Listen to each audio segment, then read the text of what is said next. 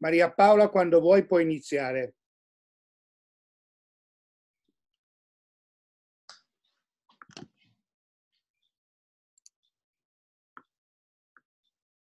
Bene, buongiorno, buongiorno a tutti. Incominciamo il nostro laboratorio Diesel Sicilia, organizzato per questa parte finale dell'anno.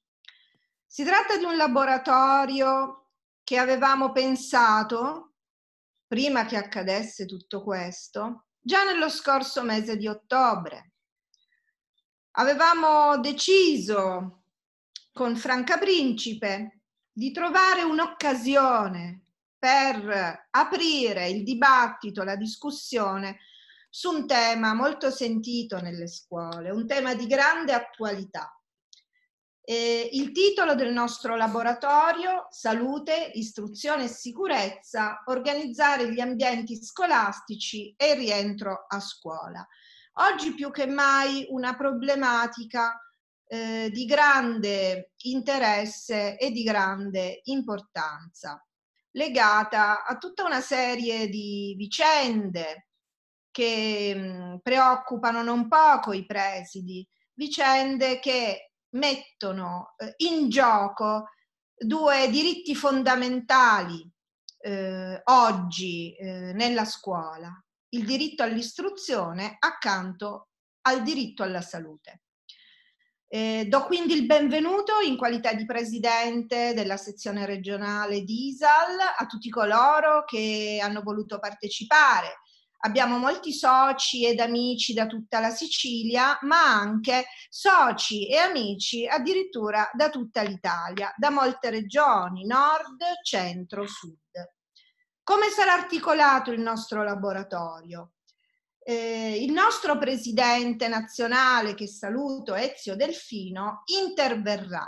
e ci darà alcune importanti informazioni sulla situazione in atto eh, che regola eh, la fattispecie di cui ci stiamo occupando, quindi anche con delle interessanti novità in campo eh, normativo, a tutela, come ovvio, della salute e dell'istruzione. Eh, successivamente prenderà la parola eh, Franca Principe di Modifica 81, la preside Principe, dirigente scolastica, eh, dell'Istituto Superiore Pisacani, Pisacane di Sapri ha eh, veramente approfondito eh, con molto interesse e passione la problematica del seminario di oggi. A seguire Paolo Pieri, consulente della sicurezza Ordine Ingegneri di Torino, eh, darà anche il suo contributo di carattere tecnico. Ricordiamo eh, che Paolo Pieri ha fatto parte della commissione che ha ridatto l'interessante documento del Politecnico di Torino, Scuole Aperte, giunto alla sua seconda edizione. Eh, a finire avremo la testimonianza di Silvia Petricci, una nostra collega, dirigente scolastica dell'Istituto Superiore Majorana di Torino, che eh, ci eh, così eh, intratterrà sull'argomento ambienti e persone, programmare il rientro a scuola in sicurezza e condividerà assieme a noi eh, delle proposte operative. Eh, passo quindi subito la parola a Delfino e mm, ci sarà spazio dopo gli interventi eh, che dureranno mediamente 15-20 minuti per le domande degli interessati da formulare attraverso chat. Grazie. Bene, grazie tantissimo eh, di questo spazio e di questo confronto promosso appunto da, da Visa Sicilia proprio nel cuore di un momento di difficile gestione della sicurezza a scuola proprio da parte dei dirigenti scolastici e secondo tutte le responsabilità ad essi in carico in forza delle vigenti norme. Eh, vi saluto dalla provincia di Cuneo dove abito e dove in questo momento svolgo il lavoro a distanza come molti di voi e ringrazio moltissimo Franca Principe e l'ingegnere Prieri eh, che conosco solamente di, eh, attraverso eh, documenti o materiali che avete spesso diffuso o che avete reso oggetto di lavoro per tanti e che abbiamo sempre seguito con attenzione. Quindi anche ascoltarvi, incontrarvi, seppur a distanza, è, è l'occasione per magari cominciare anche de, de, degli affiancamenti, dei, no? degli aiuti reciproci per il bene del, del nostro lavoro e delle nostre scuole. Io volevo fare solo qualche considerazione, mi prendo pochi minuti. Eh, innanzitutto il fatto che eh, va rilevato che in questi mesi di emergenza le, tutti i dirigenti scolastici, ne ho frequentati online parecchi, in tanti webinar, hanno agito con alto senso di responsabilità, tutelando fin dall'inizio ehm, la, la, salute e la sicurezza di tutti gli operatori della scuola e tanto più ovviamente dei ragazzi e delle famiglie. Questo va veramente detto perché eh, in punta di diritto, evidentemente, ma anche secondo un principio morale che, che muove chi dirige una scuola, eh, le prime azioni che sono state messe in campo sono state quelle di, di tutela, no? prima ancora di altre azioni. E, ehm, in secondo luogo, volevo anche dire che ehm, questa nuova emergenza epidemiologica, a mio parere, quindi lo offro anche come, come, come pensiero, anche a chi interverrà dopo, ha, eh, ha, ampliato, forse anche un po' integrato, un certo eh, modello di difesa della salute dei lavoratori negli ambienti scolastici,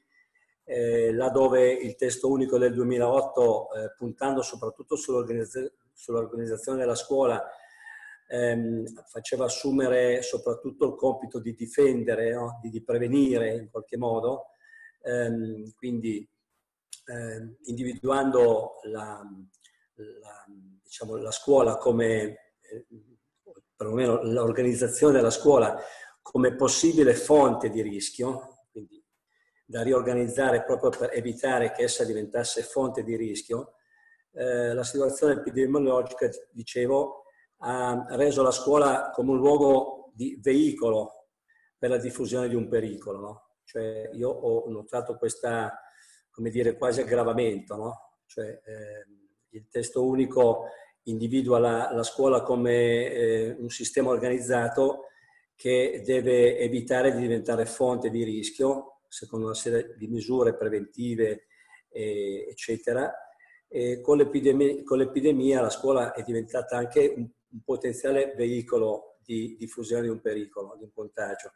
E questo è un, secondo me un ampliamento anche un po' del concetto no? di salute, di tutela, di prevenzione, eh, di, non facile, di non facile gestione.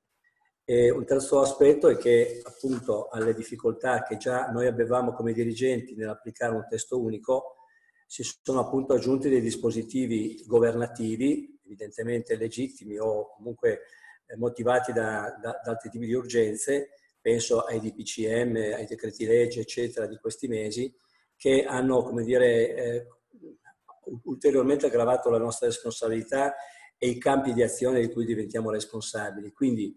eh, in questo momento, fatte queste brevi considerazioni, ehm, il dirigente scolastico sta gestendo la sicurezza eh, da un lato eh, integrando no, il, ehm, il, tradizionale sistema delineato dal testo unico con un, un nuovo sistema di, di, tutele e di garanzie e di prevenzioni legato all'epidemia. Quindi in questo senso volevo sottolineare una sorta di aggravamento no, eh, della situazione, inevitabile, di cui non è, non è colpa eh, di nessuno,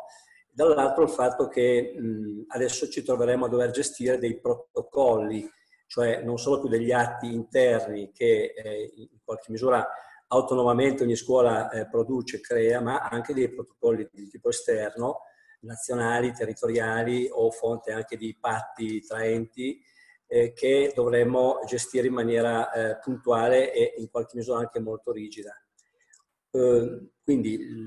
il momento attuale da un punto di vista della sicurezza è un momento che presenta, fatte queste premesse, anche delle, delle forti criticità. Intanto tutte le problematiche eh, legate alle misure anti-Covid. Eh, in più le, la sorveglianza sanitaria eccezionale legata al tema dei lavoratori fragili, che è un tema che eh, già preesisteva ma che in questo caso diventa eh, evidente e di non facile gestione. appunto la necessità di, osserv- di tradurre, osservare dei protocolli di sicurezza e non solo farli, farli osservare. Eh, poi c'è il tema di eventuali ristrutturazioni annunciate ormai da anni, ma che potrebbero diventare ancora più eh, probabili, stante la necessità di riorganizzare appunto gli spazi fisici e anche gli edifici dove sono ospitate le nostre scuole. E, ehm, un altro tema è il possibile utilizzo di spazi delle scuole per attività non dedicate all'istruzione in senso stretto, che è un tema che, come sapete, eh, affolla il dibattito di questi tempi. Quindi sono una serie di nuove piste di responsabilità, di coordinamento, di lavoro eh, che gravano sulla, sulla nostra figura. E non ultimo c'è il tema appunto ormai non più procrastinabile anche della, della tutela del, del, del, dirigente scolastico stesso. No? Eh, il, il, tema è complesso perché ormai alle varie competenze eh, abbiamo dovuto aggiungere anche eh, competenze ed esperienze camp nel campo della virologia, della tossicologia e quindi la nostra figura si è, si è complicata da un punto di vista delle competenze. Eh, in più, e qui lo, lo, cito solo, l'articolo 42, come sapete, del decreto legge 18 del, 20, del 2020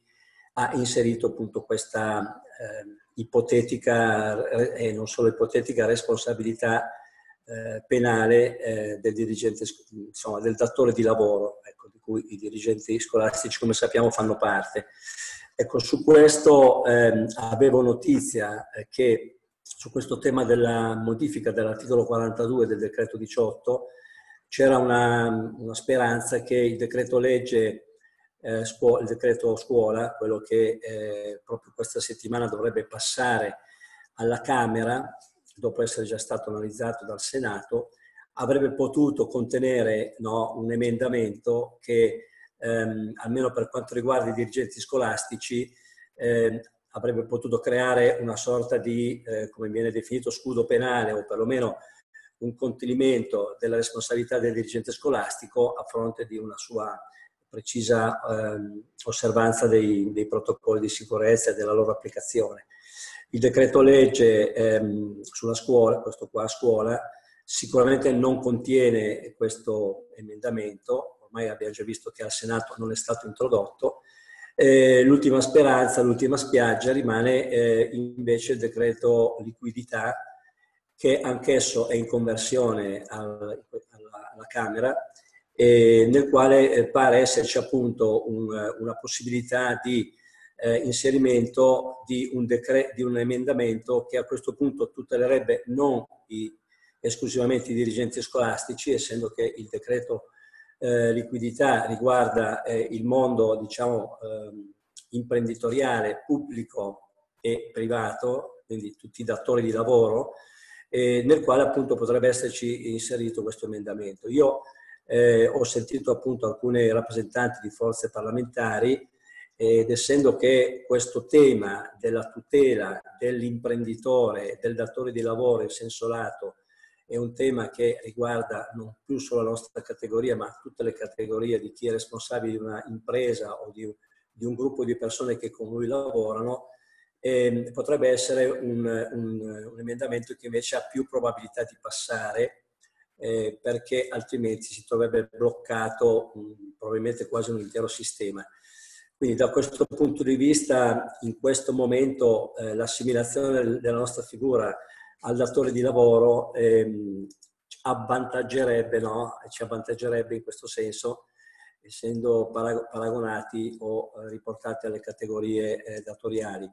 Eh, stiamo a vedere appunto in questi giorni che cosa succederà. Noi anche come associazione abbiamo sostenuto eh, sia sugli emendamenti sul decreto legge scuola e sia su quello liquidità. Eh, ci sembrava fin dall'inizio che gli emendamenti sul decreto liquidità avessero più chance di essere approvati proprio perché eh, in, questa, in, questa, maniera tutelano tutti i datori di lavoro, compresi i dirigenti scolastici. Ecco, ehm, questo era l'accenno che volevo fare. Eh, come associazione già fin prima del, delle, delle, dell'emergenza abbiamo fatto un lavoro ormai da 3-4 anni, eh, soprattutto attraverso le commissioni parlamentari, per la modifica di quelle, di quelle parti del decreto 81 che tutti conosciamo. E, ehm, siamo arrivati a un certo punto quasi eh, sotto il governo Renzi, ricordo, no? con emendamenti, alcuni proposti di legge, a una proposta di legge che sembrava la più, diciamo, eh, positiva per, per, per, il nostro ruolo, per le nostre responsabilità, poi cadde proprio il governo e, e quindi la, la, norma, la, proposta di legge decadde. Eh, so che anche in questa ultima legislatura è, stata rimessa in gioco quel tipo di, di proposte di legge, però le ultime emergenze epidemiologiche hanno un po' impedito di, di ripartire insieme. Eh, siamo in, in, contatto con eh, altre altri punti organizzati della scuola e qua mi fa piacere incontrare appunto Modifica 81 e altre persone qua presenti per vedere se eh, proprio anche con le evidenze di criticità che questa situazione epidemiologica ha messo sotto gli occhi di tutti, non solo nel mondo della scuola, ma nel mondo di chi eh, ha le responsabilità di imprese, di, di gruppi di persone, appunto chissà che questa non sia l'occasione per eh, nel prossimo autunno costruire una, un gruppo, una forza di, di azione no? In, insieme ai rappresentanti parlamentari per arrivare a delle modifiche sostanziali. Io credo che dovranno essere modifiche probabilmente graduali, non, non subito totali, anche se noi le auspichiamo, che chiariscano evidentemente le responsabilità tra eh, gli enti locali, i dirigenti, i preposti, eccetera. Quindi la nostra è un'azione assolutamente collaborativa e che va nella direzione di tanti.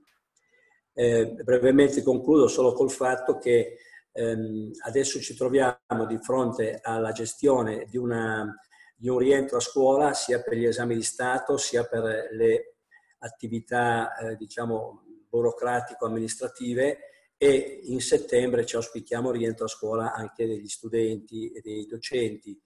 E, ehm, io in questo momento, come sapete, la situazione è ancora molto aperta, non ci sono certezze. Eh, allora io mh, do questi spunti rispetto a un prossimo futuro. Cioè uno è quello di continuare a chiedere che eh, le forze istituzionali eh, definiscano entro breve tempo i contorni, i profili, i protocolli entro cui, secondo degli statuti di salute, di sicurezza, eh, i dirigenti scolastici e le scuole si debbano muovere, perché senza dei riferimenti ogni azione è assolutamente eh, rischiosa e non, così, non credibile. Eh, in secondo luogo, credo che nell'immediato noi dobbiamo tenere presenti, a mio parere, due, due criteri fatto salvo la, la, premessa che ho appena detto, cioè che vengano definiti i protocolli nazionali. Un criterio è l'assoluta valorizzazione dell'autonomia delle singole istituzioni scolastiche o delle reti di scuole, eh, nella costruzione appunto di modelli di flessibilità, di organizzazioni interne, di tutele, ovviamente in collaborazione con le persone preposte alla sicurezza insieme ai presidi.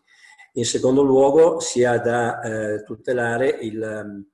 eh, diritti, cioè la didattica, cioè la possibilità dei docenti di far scuola eh, nella migliore delle, delle loro delle condizioni. E questo comporterà appunto una, una diversa organizzazione del lavoro, e, così una diversa modellazione anche degli interventi. Quindi i criteri fondamentali sono appunto la valorizzazione dell'autonomia e tornare a mettere al centro la didattica. Quindi rischiare, lo dico in senso professionalmente alto, tutto quello che eh, occorre rischiare come ideazione, progettazione, eh, gestione degli ambienti per realizzare occasioni di didattica autentica in presenza e eventualmente anche a distanza. Eh, un altro aspetto su cui noi possiamo già fin d'ora e dobbiamo cominciare a lavorare è il tema della formazione e informazione, di cui i dirigenti hanno già eh, svolto ampie esperienze, ma l'estate e i mesi di settembre e ottobre dovranno diventare proprio dei momenti di autentica formazione nell'ambito della sicurezza e della progettazione di scuola. E poi ehm, diciamo anche ehm, ehm, creare dei, dei, momenti di partecipazione nelle scuole ai percorsi decisionali, no? coinvolgendo le figure preposte, eh, l'RSU, i responsabili di sicurezza, gli staff e anche evidentemente le famiglie. Cioè potrebbe essere questa veramente una stagione in cui, partendo proprio dal tema della tutela della sicurezza e della salute, ehm, creare momenti dei percorsi decisionali comuni, fin dove, eh, secondo le responsabilità dei vari soggetti. Ecco, e, ehm, e per ultima cosa, quello di ehm, immaginare fin da oggi, e concludo, eh, dei, chiamiamoli dei protocolli, delle linee guida, dei, dei modelli interni, di cui forse anche oggi verranno date delle esemplificazioni, in modo tale che eh, la scuola eh, dimostri anche la sua capacità di gestire in autonomia eh, la, sicurezza e la tutela dei, degli studenti e di chi opera nella scuola stessa. Quindi ehm, vorrei, nel mio modo anche di intervenire, e mi scuso in maniera non così approfondita, ehm, anche dare il senso che ehm, i dirigenti scolastici e chi opera nella scuola non chiede di ritirarsi da una responsabilità o di delegare terze persone rispetto a una responsabilità. Noi la responsabilità la chiediamo e vogliamo, vogliamo giocare fino in fondo per realizzare esperienze di autonomia ed autentiche esperienze didattico-formative. Eh, abbiamo bisogno di certezze normative meno confuse di quelle da cui proveniamo e soprattutto protocolli anche rispetto a questa epidemia chiari, certi e, e traducibili in, in, maniera eh, pratica. Eh, siamo aperti come associazione, lo dico qui a Principe e ad altri presenti, a eh, collaborare, no? a costruire momenti di, di, riflessione, di studio e anche di proposta. Quindi vi ringrazio di avermi invitato e anche di avermi così eh, gentilmente ascoltato. Magari poi intervengo dopo nel dibattito. Prego Paola. Bene, ringrazio il nostro presidente che ha aperto una finestra su questa tematica, quella normativa in divenire. In questo caso è giusto seguire eh, questa evoluzione in quanto la normativa può rappresentare non tanto qualcosa che ci impone di fare qualcos'altro, quanto piuttosto uno strumento a tutela del diritto alla salute e all'istruzione e del diritto al lavoro di alunni e lavoratori. Quindi seguire l'evolversi eh, della consapevolezza da parte del legislatore che l'attuale pro- prospetto normativo non è completamente adeguato a quanto sta accadendo, in particolare, eh, se sapete bene a cosa mi riferisco, la qualifica di datore di lavoro. Ecco, eh, il problema che si sta ponendo adesso proprio questo. L'attuale assetto normativo permette realmente di garantire la sicurezza di alunni e lavoratori all'interno della scuola? Questo è uno dei problemi importanti su cui ci siamo spesso interrogati. Eh, passo quindi la parola adesso all'amica Franca che mh, mm, ci intratterrà su questa tematica, questa relazione che esiste tra datore di lavoro, emergenza sanitaria, necessità di sicurezza. Grazie Franca Principe. A te. Grazie. Buon pomeriggio e grazie di questo invito eh, che abbiamo accolto sia, sia io che Paolo Pieri con l'interesse all'ampliamento della comunità di pratiche professionali e della discussione. Ed infatti ho molto apprezzato l'introduzione del presidente nazionale di ISAL, il collega Ezio Delfino, mi è piaciuto molto sua, l'utilizzo della sua dicitura eh, lavoriamo per una didattica autentica. Eh, in questi giorni stiamo leggendo tante cose eh, che aliment- perché si alimenta un grande dibattito e ci sono queste mh, diatribe no? un po' sulla didattica in presenza o a distanza. La didattica deve essere autentica, gli strumenti sono dei tools, sono delle occasioni, delle possibilità, la didattica è qualcosa d'altro, quindi noi dobbiamo ragionare sul codice valoriale e eh, concordo con Delfino, dobbiamo rivendicare proprio in questo momento di criticità uno spazio dell'autonomia, ma uno spazio dell'autonomia reale che corrisponde a delle norme di tutela proprio per l'esercizio delle responsabilità. Quindi il mio ringraziamento non è formale ma molto eh, sentito e naturalmente ringrazio l'amica dirigente Maria Paola Iaquinta che da tempo segue diciamo, gli sviluppi del dibattito nella nostra associazione, associazione che ha una caratteristica, ha un approccio pluridisciplinare abbiamo cercato di coinvolgere nella nostra associazione non soltanto dirigenti e docenti o genitori, ma molte, eh, molti profili professionali, perché appunto il tema della sicurezza riguarda tutti i settori del lavoro pubblico e privato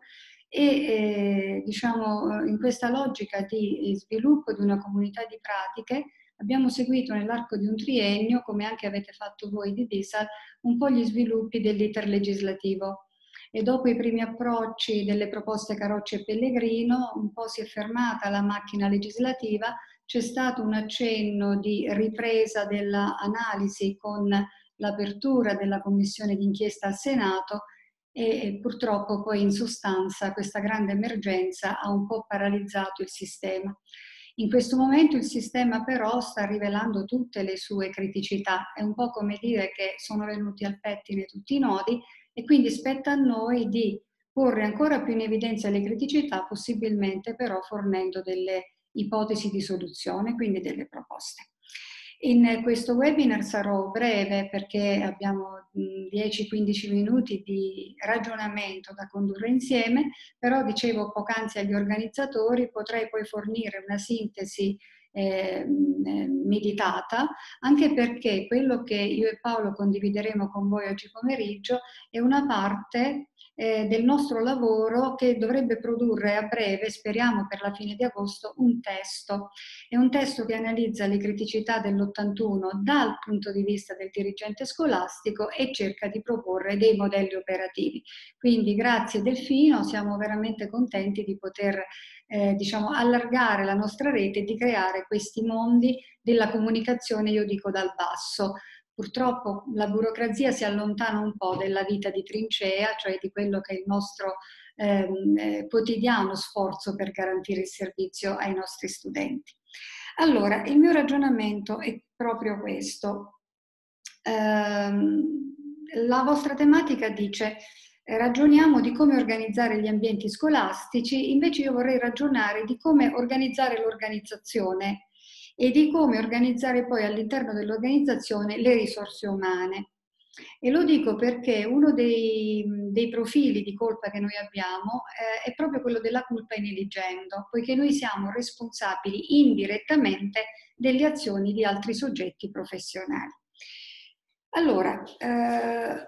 tutti noi sappiamo che il 2082 del Codice Civile definisce la figura dell'imprenditore e del datore di lavoro. Non sono sempre coincidenti le due figure,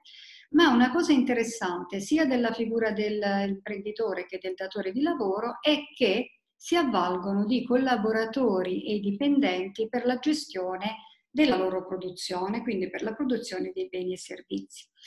Gli imprenditori si assumono il loro rischio di impresa e all'interno del rischio di impresa si assumono anche il rischio di tutela della salute dei dipendenti.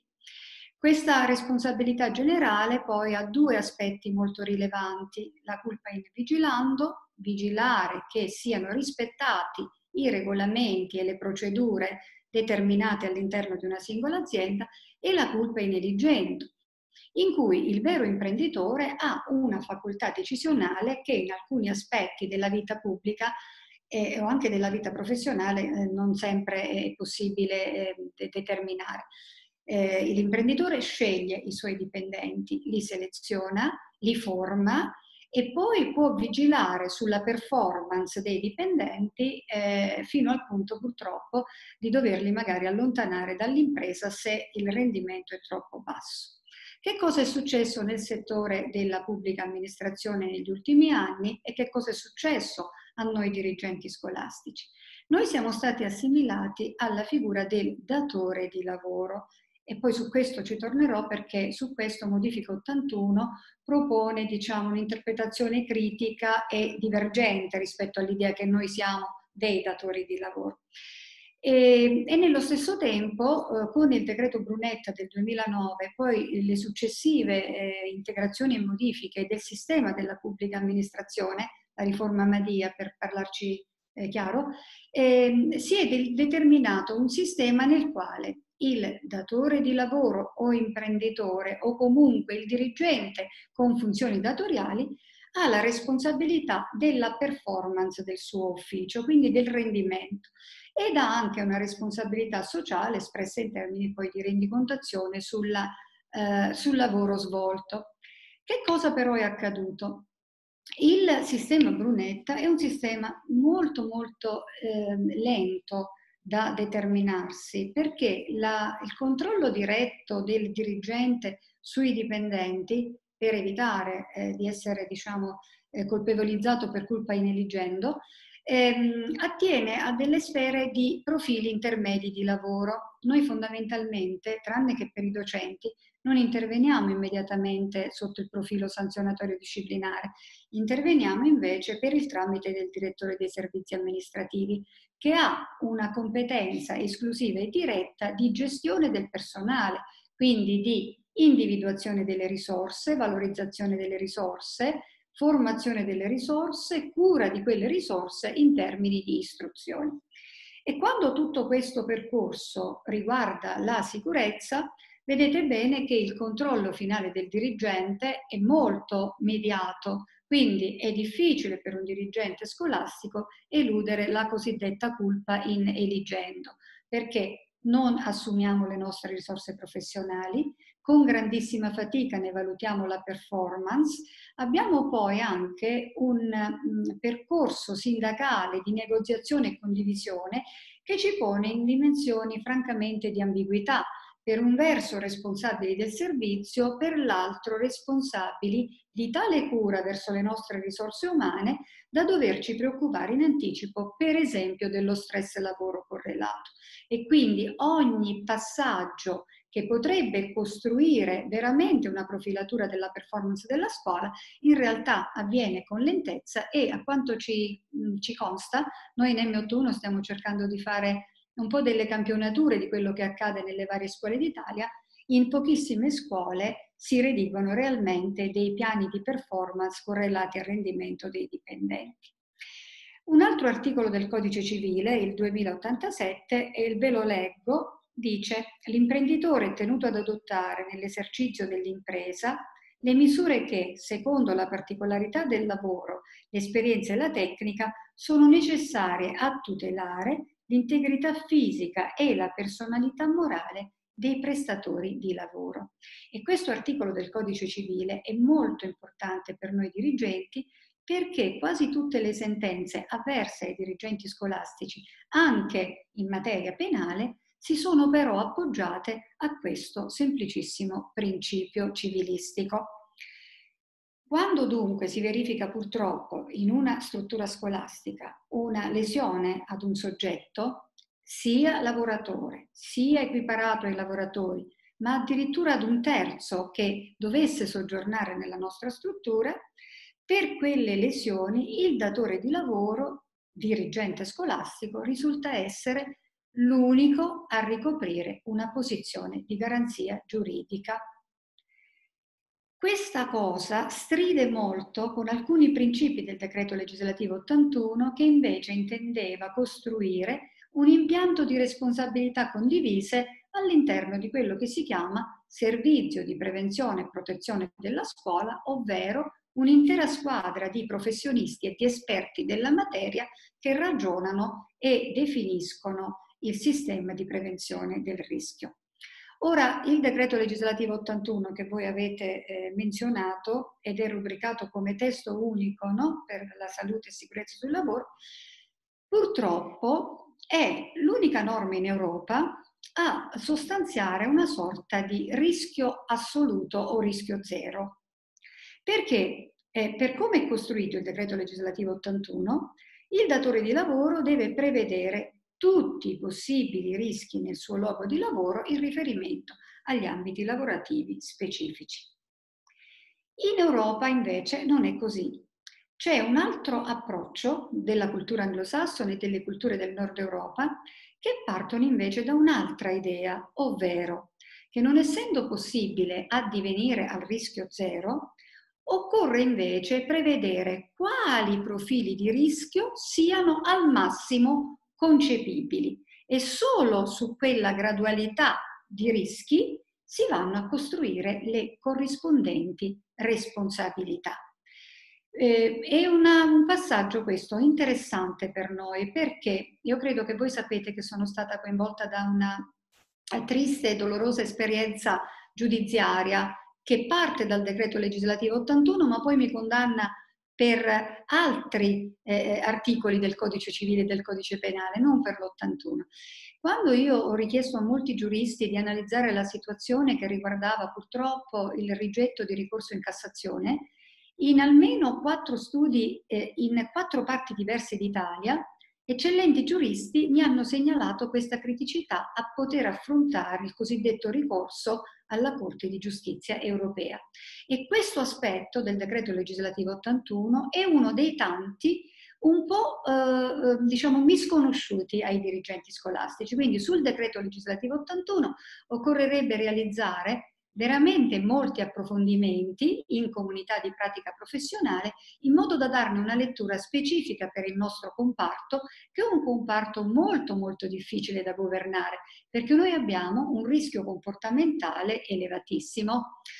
Allora, andiamo alla, alla trattazione, diciamo, un po' logica di quello che vi sto proponendo. Quindi questo datore di lavoro deve misurare prima di tutto il rischio e deve quindi disporre di dati, analizzare una serie di processi, formulare i criteri di valutazione, verificare l'accettabilità del rischio secondo diciamo, il pensiero anglosassone e poi finalmente definire le misure per contenere o al massimo, se possibile, eliminare il rischio, darne attuazione ed infine vigilare costantemente sui comportamenti. Diceva prima Delfino, in questo periodo le responsabilità stanno aumentando a dismisura. Non erano già sostenibili le responsabilità imposte al dirigente scolastico dal decreto 81 perché è necessario un ufficio preposto, un ufficio tecnico in ogni scuola, perché anche quando si è proceduto ad un'analisi corretta dei rischi, poiché il rischio è in evoluzione, poiché ci possono essere situazioni impreviste nel corso del tempo, è necessario immaginare dei sistemi di monitoraggio continuo, naturalmente certificati e eh, diciamo eh, raffrontabili poi statisticamente con la curva del miglioramento. Sempre tornando al sistema anglosassone del nord Europa e al nostro, perché si sono sentiti sereni nel nord Europa a riaprire le scuole? Perché loro hanno un sistema che va a parametrare l'organizzazione e dunque la responsabilità organizzativa dei dirigenti in rapporto a ciò che realisticamente è possibile. E se dunque esiste una pianificazione nel tempo, io ho delle, delle difficoltà strutturali, occorrono tre anni prima che si sia superata magari una commissione dei beni culturali perché magari la mia scuola è ubicata in un centro storico. Ecco, tutto questo in Italia non compare mai. Non compare mai perché il decreto legislativo 81 lo sappiamo tutti, ne hanno preso finalmente consapevolezza tutti, è completamente privo dei decreti attuativi. Quindi noi abbiamo questa straordinaria norma generale alla quale fa riferimento, dobbiamo poi inventarci dei sistemi procedurali senza una impostazione sistemica del Ministero per l'istruzione ed infine rispondiamo poi delle nostre singole scelte. Il Covid allora e l'emergenza Covid rappresenta secondo me per noi dirigenti scolastici e per la profilatura della nostra responsabilità in materia di dirigenza una grande opportunità.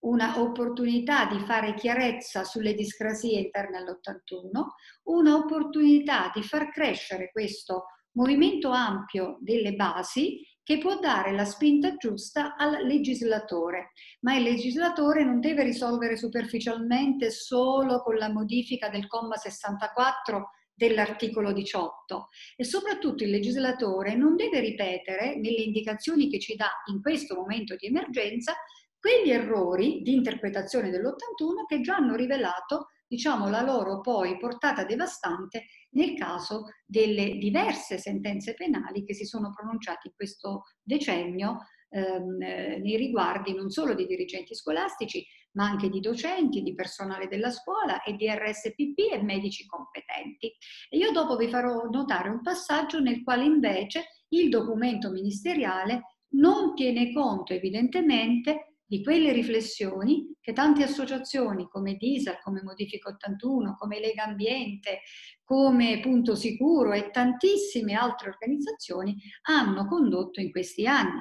E di fatti in quest'ultimo periodo eh, si legge, e tanti, si leggono in molti articoli, in molte riviste specialistiche, veramente finalmente delle sintesi eccellenti di quello che è questo percorso anomalo dell'81 che va assolutamente corretto proprio per ridare vitalità alle scuole, proprio per addivenire a quella didattica autentica di cui parlava il vostro presidente. Benissimo. Allora, che cosa succede in un'azienda vera e propria dove il datore di lavoro eh, spende le proprie risorse, oltre che la propria risorsa professionale? Si individua una procedura per la gestione del protocollo sicurezza. In genere che cosa si fa? Noi abbiamo analizzato l'agire di molte imprese in questo momento, imprese di tanti settori, eh, dal settore della ristorazione al settore dell'edilizia, il terziario. La prima cosa che si fa in un'impresa è la checklist personalizzabile di quello che c'è da fare e dei tempi per fare determinate cose. Poi si creano dei sistemi di reportistica immediata, cioè il controllo in tempo reale o il controllo in un arco di tempo standardizzato, ogni mese per esempio, della tracciatura di tutte le attività svolte. Ed infine si sviluppa un software o un cloud che in genere viene fornito poi sul tablet del dirigente per il controllo effettivo. Una delle aziende che sta facendo questo pacchetto, per esempio, si chiama NordPress e la sta facendo per molte aziende in tutta Europa. Ovviamente questo tipo di pacchetto ha un costo non accessibile al sistema scuola. Perché? Perché non esiste ancora un percorso di gestione di protocollo della sicurezza per le scuole validato e certificato. Eh, devo dar merito non solo all'ingegner Paolo Pieri, ma anche ad altri ingegneri associati ad M81 che lavorano in Toscana e a Bologna,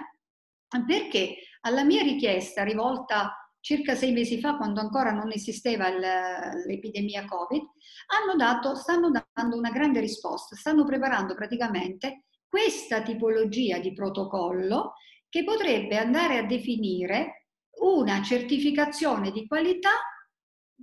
molto eh, esimente per il dirigente scolastico. Non è possibile determinare l'esenzione totale dalle responsabilità, però potrebbe esserci un bollino di qualità sicurezza scuola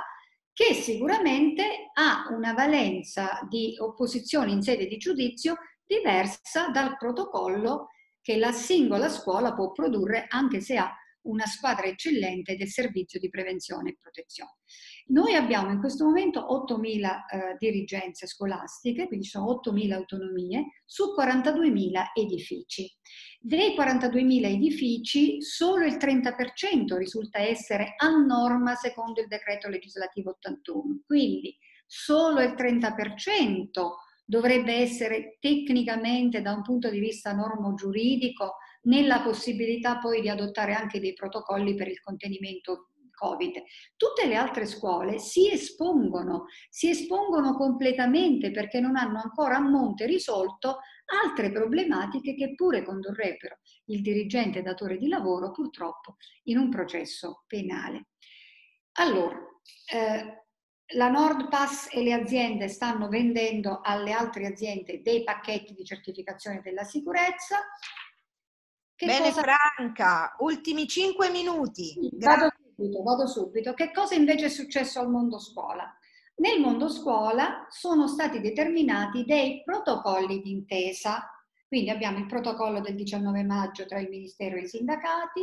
Quel protocollo richiamava il documento tecnico di rimodulazione delle misure contenitive.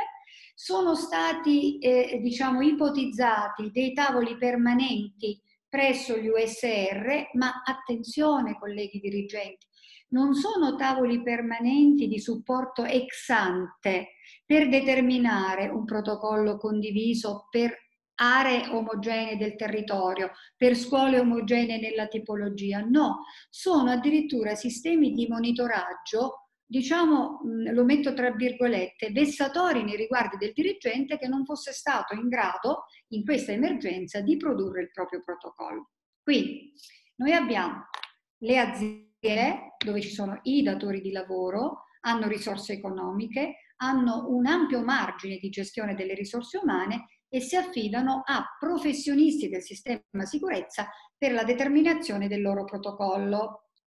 Poi abbiamo un sistema eh, fatto di negoziazioni, fatto di dibattito, fatto sicuramente dell'incrocio tra gli interessi tra tante parti sociali, ma che non ha prodotto ancora oggi per noi dirigenti alcun protocollo nazionale né per gli esami di Stato in presenza e neanche a settembre per l'apertura. Cosa fare? Come ci possiamo regolare? E concludo. Allora,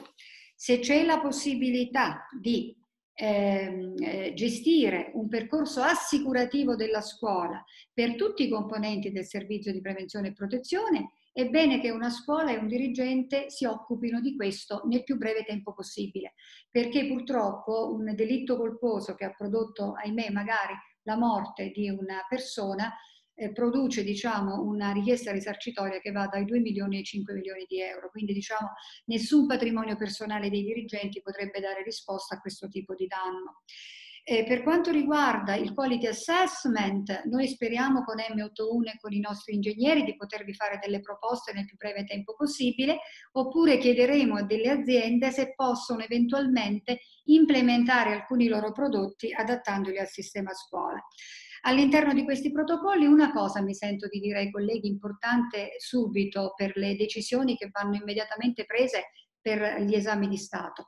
Determinarsi molto nella tracciabilità delle azioni organizzative. Mm, tutto quello che noi facciamo nei rapporti col direttore dei servizi, nei rapporti con il servizio di prevenzione, ovvero tutte le figure, tracciamolo sempre non solo con delle verbalizzazioni, ma anche solo con dei memorandum, con dei briefing, con tutto quello che può dimostrare poi a posteriori che noi avevamo fatto l'impossibile, perché purtroppo in sede giudiziaria bisogna dimostrare di avere eh, diciamo, affrontato a 360 gradi ogni tematica e quindi di avere potuto attuare una previsione rischio. Io sto per concludere e di tutto questo che eh, vi ho accennato, spero di potervi dare degli approfondimenti e una sola cosa voglio dire per concludere.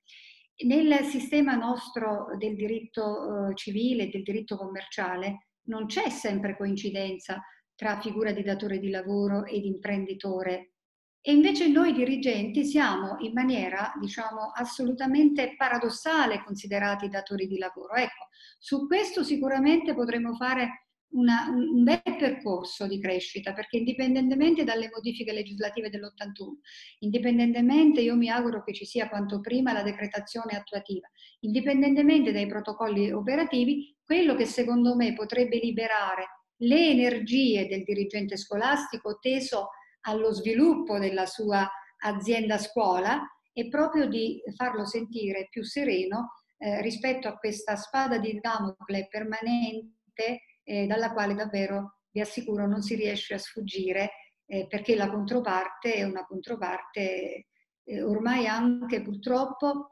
assistita da tante sentenze di Cassazione. Quindi siccome le sentenze di Cassazione fanno giurisprudenza, il nostro percorso non può che essere quello della virtuosa analisi dei problemi, analisi e proposta anche al Ministero di possibili pacchetti eh, esimenti per le scuole ed infine tutti insieme, possibilmente in gran numero, fare un pressing culturale pacifico e sereno per ottenere che finalmente il legislatore si prenda in carico questa problematica. Vi ringrazio, penso di non aver sforato forse di, di tre minuti il tempo della trattazione. Grazie. Grazie mille Franca, la tua testimonianza ha chiarito, se ancora ci fosse bisogno, che eh, per ehm, avere un buon funzionamento eh, nella scuola, ma in genere nelle organizzazioni, occorre che la legge regolamenti in modo ragionevole le fattispecie e sulla ragionevolezza della qualifica di datore di lavoro ai dirigenti scolastici, è bene stato detto da te, bene è stato detto tante altre volte in altri tavoli. Quindi possiamo veramente augurarci di convergere verso una buona battaglia che renda le regole ragionevoli e finalizzate a uno sviluppo del paese quindi ha una tutela della sicurezza di alunni e lavoratori. In questo momento è chiaro sotto gli occhi di tutti che il decreto 81, soprattutto per quanto riguarda la scuola, ha fatto il suo tempo. Un decreto assolutamente valido che nasce, ricordiamolo, da una vicenda tragica proprio a Torino, il rogo della ThyssenKrupp, in cui dei poveri lavoratori perdono la vita per il mancato rispetto da parte del datore di lavoro delle regole di sicurezza. Ma questa regola, questo importante momento di civiltà, decreto 81, come ovvio deve trovare una sua specifica per il mondo della scuola, assai lontano dalla fabbrica ThyssenKrupp. Lascio adesso la parola al nostro tecnico Paolo Pieri per l'approfondimento della questione legata alla possibile gestione del rischio sanitario. Buongiorno a tutti, mi sentite? Si sente la mia voce? Perfetto, grazie. Allora, eh, il mio intervento sostanzialmente è in totale simbiosi con quello di Franca Principe, eh, con la quale collaboro all'interno di Modifica 81 eh, da ormai quasi eh, due anni. Io mi limiterei, visto che il tempo è poco e le cose da dire sono sempre tante, eh, a dare una serie di consigli eh, ai dirigenti scolastici che poi in un certo qual senso finiranno con convergere verso un discorso di procedura di qualità e sicurezza della scuola che è un pochino, secondo quello che ha detto anche Franca Principe, un obiettivo, eh, un punto di arrivo eh, per il mondo della scuola. Questo mondo della scuola eh, parte, deve partire, secondo me, è un, fare un documento di valutazione dei rischi. Fare la valutazione dei rischi nel mondo della scuola, nelle scuole, è difficilissimo. Io ci lavoro da più di vent'anni è molto più facile farlo per un'impresa, per una fabbrica, per un ristorante, perché le attività, le procedure sono sempre, quasi sempre le stesse. Nella scuola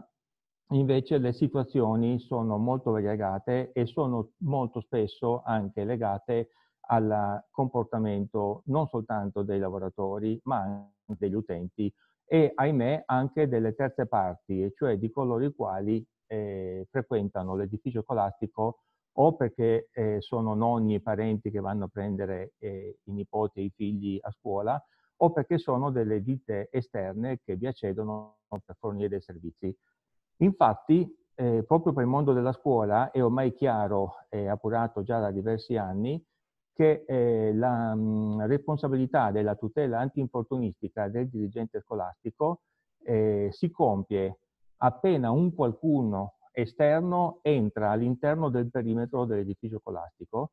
eh, e vale quindi non soltanto per i propri dipendenti, ma vale per gli utenti, per i familiari e per le terze parti, come vi ho detto. Infatti un argomento sul quale ho lavorato molto negli ultimi anni è anche il, il, la valutazione dei rischi interferenziali, quindi l'applicazione dell'articolo 26 che porta al DUVRI, ma abbiamo anche coniato dei termini eh, paralleli al DUVRI, documento unico di votazione del rischio di interferenze, quali per esempio il DUC, documento unico di cooperazione e coordinamento, che dovrebbe aiutare il dirigente scolastico e il proprio servizio di prevenzione e protezione a gestire eh, delle situazioni eh, che non sono eh, afferibili alla, al Dubri, ma che comportano la presenza di attività eh, all'interno della scuola, quali per esempio le associazioni sportive, che non sono legate da un contratto con la scuola o con l'ente proprietario. Per quanto riguarda il dirigente scolastico, il mio consiglio è di iniziare a lavorare molto bene con quello che può avere in mano, quindi avere una buona conoscenza della normativa di riferimento, che come voi sapete, per quanto riguarda l'edilizia scolastica, parte dal, dal vecchio e anche abrogato decreto ministeriale del 1975. Il decreto è stato abrogato e sostituito dalla legge 23 del eh, 1996 che ha portato alla nascita della eh, fantomatica eh, anagrafe dell'edilizia scolastica. Ecco, io consiglio al dirigente scolastico di conoscere molto bene le tabelle parametriche eh, del DM del 75 perché non, pur essendo stato abrogato non sono state sostituite da delle normative a livello regionale su come devono essere dimensionate e gestiti gli spazi scolastici. Vi faccio dei riferimenti, il dirigente scolastico si trova ogni anno a combattere con eh, la questione formazione classi, con gli affollamenti delle classi, e il DM75 dà dei parametri per individuare il numero massimo eh, di allievi presenti in ogni classe in funzione dello spazio a, ehm, dedicato alla superficie dell'aula. La legge 23 del 96 invece ha eh, fatto nascere l'anagrafe dell'edilizia scolastica che ahimè non è eh, nata molto bene nei primi anni eh, di sua applicazione gli enti proprietari hanno compilato velocemente delle schede sulla, sull'edilizia scolastica di ogni edificio. Eh, alcune di queste schede comportavano anche dei dati, la raccolta di dati legati anche alla sicurezza, però hanno affidato quasi sempre questa compilazione a degli studi esterni, sono state fatte compilazioni praticamente a tavolino e queste schede eh, nel tempo sono invecchiate facilmente, velocemente o non sono state poi aggiornate. Eh, dopo eh, questa eh, legge del 96 il salto è piuttosto grosso eh, perché arriviamo alle schede integrative del dell'intesa tra il Ministero dei Lavori Pubblici e, e dell'istruzione legate a, alla compilazione eh, integrativa delle schede dell'anagrafe scolastica relativamente agli elementi non strutturali potenzialmente collassabili in caso di scosse telluriche. Sono schede nate da una collaborazione del Politecnico di Milano, che ne è stato il primo artefice, e in parte anche del Politecnico di Torino, ma che nascono dalle schede della protezione civile per andare a identificare i criteri di rischio presenti negli edifici in genere. Queste schede furono compilate dopo la tragedia eh, nota a, a, livello nazionale del liceo Darwin e che io, come sapete, ho vissuto in prima persona e eh, hanno comportato eh, un sopralluogo che doveva essere fatto da un tecnico del provveditorato alle opere pubbliche a livello regionale ehm, che è una, praticamente come fosse l'USR nel caso del, del Ministero dell'Istruzione, il provveditorato alle opere pubbliche sarebbe praticamente l'USR del, ehm, eh, del Ministero eh, dei Lavori Pubblici. Praticamente eh, questo tecnico del, del provveditorato, in, accompagnato da un tecnico del proprietario, ha fatto il sopralluogo degli edifici scolastici. Compilando queste schede, che avevano anche l'opportunità non soltanto di individuare i problemi eh, di collasso, di rischi eh, particolari, non strutturali per intenderci, non di un, di un, solaio, di un pilastro, di un tetto che cade, ma di, degli elementi accessori al solaio e al tetto. Queste schede sono state compilate eh, forse meglio di quelle dell'anagrafe scolastica, ma eh, non sono state spesso e volentieri messe a conoscenza e condivise con il dirigente scolastico. Io consiglio a ogni dirigente scolastico di dotarsene una copia, chiederne una copia alla regione e anche al, all'ente proprietario di riferimento, perché potrebbero diventare un, un'arma di difesa. Mi spiego meglio. Se un controsoffitto sfondella, eh, se cade una parte di tetto o delle tegole e quegli elementi non sono stati analizzati durante quel famoso scopo che eh, si, è fatto, si è compiuto tra il 2009 e il 2011, eh, il dirigente scolastico potrebbe dire come, cioè non hanno, non hanno, identificato quel rischio che poi ha comportato magari un grave infortunio dei tecnici che hanno fatto quello di lavoro, eh, quindi eh, perché doverlo, eh, doverlo eh, diciamo, contestare al sottoscritto. Un'altra normativa che conviene conoscere ovviamente è quella antincendio ed è il decreto ministeriale del 26 agosto del 92 che poi eh, ha eh, delle ulteriori connotazioni tipo il decreto 10 marzo 98. Ecco, il problema eh, di questo decreto del 92 è il problema forse più grosso insieme a quello eh, della staticità degli edifici scolastici e della loro vulnerabilità al rischio sismico, perché non la normativa sia molto precisa e molto articolata sia per il rischio sismico, per il rischio strutturale e sia per il rischio incendio, ma non è stata compiutamente applicata da, né dal governo, dallo Stato né dagli enti proprietari. Un esempio è che la normativa antincendio ha delle continue scadenze che vengono continuamente procrastinate nel tempo. Quindi praticamente la situazione che vivono i dirigenti scolastici, i dipendenti e gli utenti, quindi le famiglie eh, degli edifici scolastici, è che si trovano a dover svolgere la loro attività in edifici che eh, sono quasi sempre non a norma eh, in tutti questi ambiti. Questo cosa comporta? Comporta eh, che eh, dovrebbero nascere delle procedure eh, e degli approcci diversi eh, Franca Principe parlava di rischio accettabile parlando del mondo anglosassone. Io, se io dirigente scolastico devo dirigere l'attività scolastica in un edificio che non è a norma, dovrei, insieme al servizio di prevenzione e protezione, ma collaborando anche con l'ente proprietario e anche con gli organi preposti al controllo, individuare delle misure compensative che mi consentano di rendere accettabile l'attività all'interno di quell'edificio cosa che al momento in Italia non sta ancora avvenendo e quando capita poi qualche eh, grave caso che poi diventa anche facilmente mediatico e noi come sapete ne abbiamo avuti almeno tre o quattro già in Italia negli ultimi 15 anni, eh, tutti eh, guardano eh, la situazione con molto interesse eh, ma poi come al solito chi ne paga eh, le spese è il cosiddetto capio espiatorio. Il problema è che dietro ad ogni evento ci sono eh, dei responsabili evidenti, quelli che io chiamo le persone e le figure che si trovano sulla punta dell'iceberg, ma c'è un, un, una parte sommersa dell'iceberg dove ci sono tutta una serie di figure eh, anche a livello eh,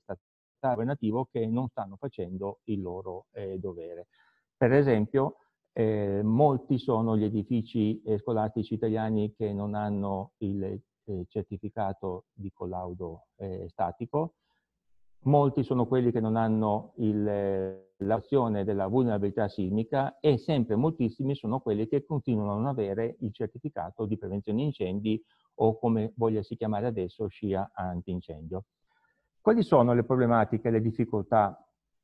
che deve eh, so, sopperire il dirigente scolastico? Beh, innanzitutto io consiglio di dotarsi, come vi ho detto, di queste schede, le schede dell'anagrafe edilizia scolastica dei propri edifici e quelle dell'intesa,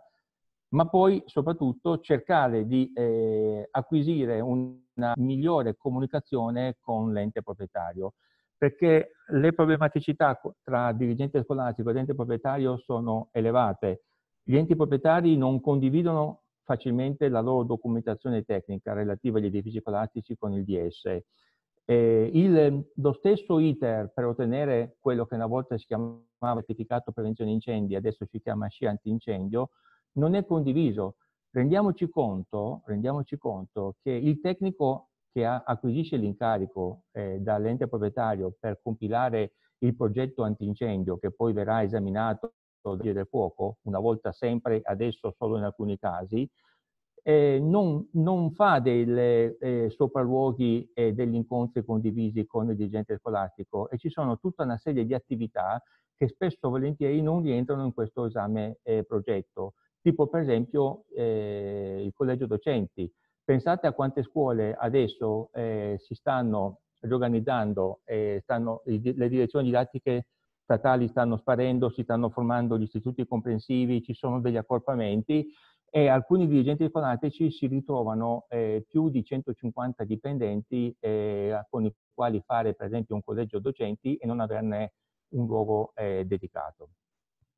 L'altro problema è che ci sono tempi lunghi eh, dalla segnalazione delle anomalie che fa la scuola all'ente proprietario alla loro soluzione. Sempre per il solito problema che mancano i soldi, ma anche in questo io consiglierei il dirigente scolastico di mettersi sempre nella condizione di non fare soltanto la segnalazione all'ente proprietario, ma di dire anche e comunicare quali sono le misure compensative a carattere temporaneo che ha messo in atto per rendere comunque sicura l'attività o comunque compartimentarla e, ed isolarla finché non, non lo diventa eh, tale. L'altro problema è la manutenzione. La manutenzione in Italia non funziona come eh, dicono i manuali uni sull'argomento, è una manutenzione a guasto. I, gli enti proprietari si limitano a intervenire dove, dove, ci sono i guasti, ma non sono in grado di gestire una manutenzione programmata, e cioè periodicamente, secondo quello che una volta era stato chiamato il fascicolo del fabbricato e poi è stato bloccato a livello eh, nazionale,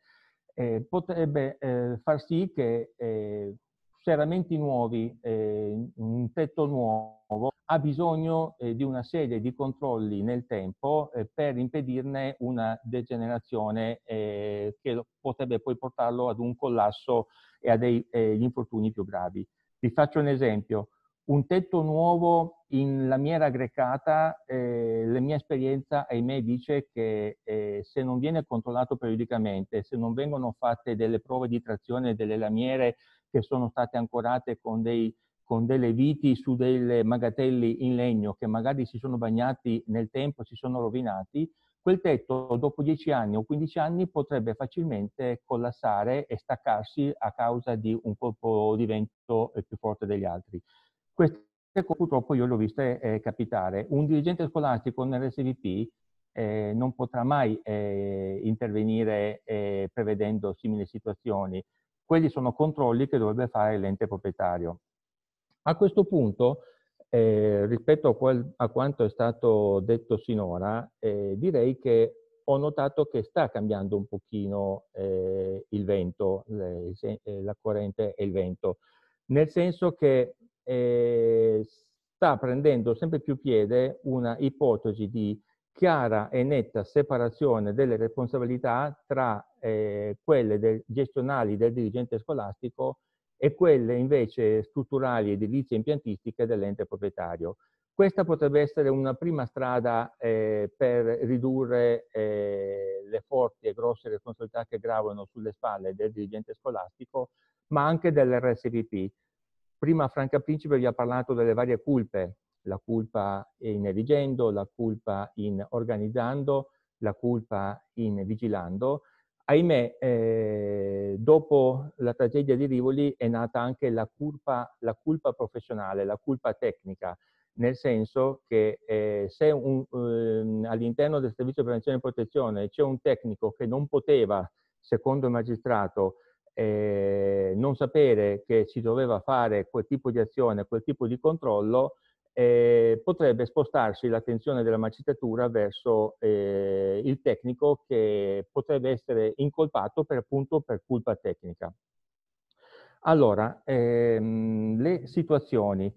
eh, le situazioni diciamo eh, che potrebbero portare a, a, ad un miglioramento di questo ehm, scenario molto difficile per i dirigenti scolastici e i loro RSVP potrebbe essere quello di puntare molto sugli osservatori regionali per la sicurezza nelle scuole, che in Italia al momento eh, sono ancora pochi. Io conosco bene quello del Piemonte perché io vivo in Piemonte, so che ce n'è eh, uno anche in campagna e poi forse voi saprete meglio di me eh, dire in quali altre regioni sia già presente. Questo, tavolo, questo osservatorio potrebbe eh, cercare di coordinare un tavolo tecnico interistituzionale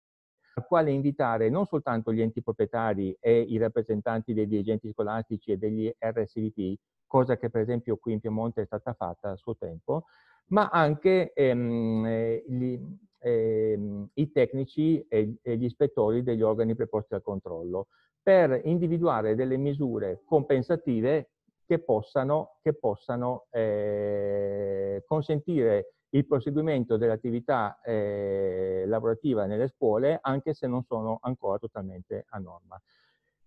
Il secondo punto è il decreto attuativo dell'81, ma eh, da più voci anche molto eh, eloquenti ormai eh, ho sentito e ve lo riferisco che non, verrà, non, uscirà mai più il decreto attuativo del decreto 81 per eh, il mondo delle scuole. Su questo argomento io il consiglio che vi posso dare è di appoggiare eh, la vostra attività sulla sicurezza a delle linee guida che sono nate a livello regionale, quali quella della Regione Veneto, eh, del eh, gruppo di lavoro SIRVES, Sicurezza eh, Veneto, Sicurezza Scuole, e quella ehm, per esempio anche del Piemonte. Sono due linee guida che sono nate anche in maniera un po' simbiotica e affrontano l'argomento della sicurezza in maniera eh, non totalmente identica eh, e possono essere molto interessanti. Poi, ehm, altre situazioni, eh, l'intervento statale dovrebbe essere un intervento super partes per poter organizzare le misure compensative. Ragionando e parlandovi da tecnico, per esempio, a, a, a, mio parere non esiste un vero e proprio capitolato eh, edilizio eh, delle scuole. Io quando faccio i miei sopralluoghi nelle scuole vedo che eh, gli enti proprietari finiscono col mettere delle porte in, eh, in, legno tamburato nei bagni o anche nelle aule che poi con il tempo eh, deperiscono molto velocemente e non sono sicuramente delle porte da utilizzare in ambito scolastico. Quindi come vedete eh, c'è purtroppo ancora molto da fare. Un altro argomento che consiglio è di rivedere l'organizzazione del servizio di prevenzione e protezione identificando due organigrammi eh, della sicurezza. L'organigramma gestionale che è composto a mio avviso dal dirigente scolastico e poi dai dirigenti ai sensi del, dell'articolo 18 del decreto 81 che possono essere il DSGA e il eh, docente vicario del dirigente scolastico. Poi individuare i eh, preposti eh, che potrebbero essere nelle scuole del primo ciclo i referenti di plesso, perché altrimenti non ci sarebbero preposti, poi eh, gli ATA, assistenti tecnici di laboratorio nelle scuole del secondo ciclo, i docenti ehm, responsabili di laboratorio e anche ovviamente i docenti che portano la classe in laboratorio. Come voi sapete, il docente che porta la classe in laboratorio è indicabile come preposto nelle scuole secondarie di secondo grado, nelle altre scuole invece direi che un po' in tutta Italia è acquisito che non, eh, non, eh, non hanno, eh, in quel caso gli studenti non sono equiparati ai lavoratori e quindi i docenti che li accompagnano al laboratorio non sarebbero equiparabili a preposti. L'altro organigramma invece è l'organigramma cosiddetto collaborativo o consultivo dove abbiamo sempre a capo il datore di lavoro dirigente scolastico, poi abbiamo i suoi due bracci destri che sono l'RSVP che può essere interno o esterno e il medico competente. Sul medico competente vi dico subito che ho, ho acquisito la notizia che in molte parti d'Italia il medico competente viene nominato eh, soprattutto nelle scuole secondarie di secondo grado e non nelle altre scuole del primo ciclo. Io invece consiglio di trovare modo all'interno del DVR eh, di identificare dei lavoratori soggetti a sorveglianza sanitaria, quali per esempio almeno eh, gli ATA, assistenti tecnici, assistenti amministrativi, che svolgono per più di 20 ore l'attività lavorativa davanti al computer eh, e per poter nominare, perché è un secondo consulente che vede la sicurezza da uno scenario igienistico e salutistico, eh, mentre invece l'RSVP vede la sicurezza da uno scenario più tecnicistico. Poi abbiamo gli addetti al servizio di prevenzione e protezione, gli addetti alle emergenze, che sono gli addetti antincendio, gli addetti al primo soccorso, ma io vi sottolineo anche gli addetti all'evacuazione e al salvataggio, quindi sono tre le famiglie di addetti che dovrebbero essere presenti in un'organizzazione aziendale quando anche scolastica, e poi il rappresentante dei lavoratori per la sicurezza. Ecco, questi due organigrammi si occupano entrambi di sicurezza, solo che mentre l'organigramma gestionale si preoccupa di mandare avanti l'azienda a scuola e ha come eh, oggetto della propria vigilanza il lavoratore, l'altro organigramma eh, collaborativo, consulenziale, eh, si preoccupa di fare la valutazione dei rischi e ha come oggetto delle proprie attenzioni i rischi presenti nel luogo di lavoro. Quindi è evidente che eh, per poter mandare avanti la scuola in sicurezza, le figure paritetiche di questi due organigrammi dovrebbero lavorare in eh, simbiosi. Le coppie possono essere eh, datore di lavoro con l'ente proprietario, l'RSVP con il dirigente, l'addetto al servizio prevenzione e protezione con i preposti di primo livello, l'addetto al servizio emergenza con i preposti di secondo livello e l'RLS con i lavoratori. Sì, perché l'RLS fa parte dell'organigramma eh, eh, consulenziale e collaborativo, mentre invece i lavoratori fanno parte dell'organigramma gestionale e sono diciamo, eh, l'ultimo anello della catena della sicurezza da questo eh, identificata. Credo di aver completato il mio tempo a disposizione, ma eh, vi anticipo eh, velocemente eh, quale potrebbe essere un iter gestionale della sicurezza nella scuola che ciascun dirigente scolastico potrebbe mandare avanti in maniera organizzata, seguendo in anteprima quello che potrebbe essere un manuale della sicurezza e qualità delle scuole, quale vi ha anticipato Franca Principe. Le fasi di questo iter io le ho identificate in tre tipi, la fase consultiva, la fase analitica e la fase gestionale. La fase eh, consultiva, eh, in questa fase il plastico eh, consulta tutte le figure già presenti all'interno della scuola e, e costruisce poco alla volta il servizio di prevenzione e protezione e i due organigrammi eh, che vi ho appena menzionato, partendo dal primo passo fondamentale che è quello di sollecitare i lavoratori a individuare il rappresentante dei lavoratori per la sicurezza perché questa figura sarà sempre in continuo eh, coordinamento con eh, il dirigente scolastico per poter verificare tutti i passi che il dirigente scolastico vuole portare avanti insieme al servizio di prevenzione e protezione sulla sicurezza. La fase analitica invece è, è quella fase che diceva anche Franca prima di raccolta dei dati raccolta dei dati, quindi analisi dei documenti già presenti nella scuola, analisi del contratto di comparto della scuola, perché vi dico subito che un documento di valutazione dei rischi parte necessariamente da una raccolta molto attenta e articolata dei mansionari delle varie figure presenti all'interno eh, della scuola. Eh, per poter fare la valutazione dei rischi alle quali i dipendenti e gli utenti sono soggetti, dobbiamo conoscere anche qual è il loro mansionario, cioè che cosa ci si deve aspettare che facciano eh, e quindi valutare quelli che sono i cosiddetti rischi attesi, che non sono ancora i rischi effettivi, ma sono i rischi che ci si può attendere in maniera generale, per esempio dalla figura mansionaria del collaboratore scolastico. Dopodiché invece con dei sopralluoghi delle analisi mirate, nella fase analitica il dirigente scolastico facendo una valutazione dei rischi che non è più qualitativa come quella di prima, ma è quantitativa, identifica eh, a, a, seguito di una serie di monitoraggi, di questionari e di analisi anche bibliografiche di settore, quali sono i rischi effettivamente presenti e ne identifica le misure preventive e protettive da mettere in atto. Come grazie RTP, Paolo, ultimi due minuti, concludiamo. Benissimo. Ma ci sono arrivato, grazie. Eh, ho cercato di parlare eh, il più velocemente possibile, spero che si sia compreso eh, il mio parlato perché quando ho poco tempo divento Fidi Gonzales, eh, chiedo scusa. ehm,